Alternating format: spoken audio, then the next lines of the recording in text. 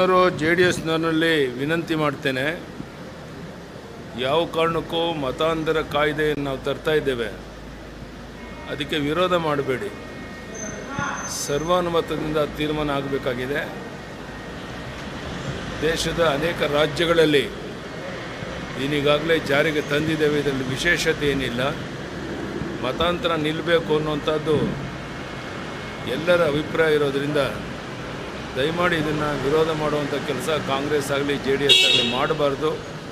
ಸರ್ವಾನುಮತದಿಂದ ಇದು ಪಾಸಾಗಕ್ಕೆ ಅವಕಾಶ ಮಾಡಿಕೊಡ್ಬೇಕು ಅಂತ ನಾವು ಅವರಲ್ಲಿ ವಿನಂತಿಯನ್ನು ಮಾಡ್ತೇವೆ. ಸರ್ ಜನರನ್ನ ಹಿಡಿದಿಟ್ಕೊಳ್ಳೋದಕ್ಕೆ ಒಂದು ರೀತಿ ಸೆಂಟಿಮೆಂಟಲ್ ಈ ರೀತಿ ತರ್ತಾ ಇರ್ತಾರೆ ಬಿಜೆಪಿ ಇರುವಂತಕ್ಕಂಥ ಆರೋಪ.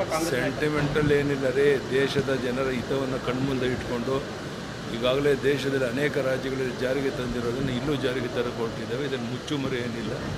ಅದಕ್ಕೆ ನಾನು ಎಲ್ಲ ಪಕ್ಷದವರ ಸಹಕಾರವನ್ನು ಕೇಳ್ತೇನೆ.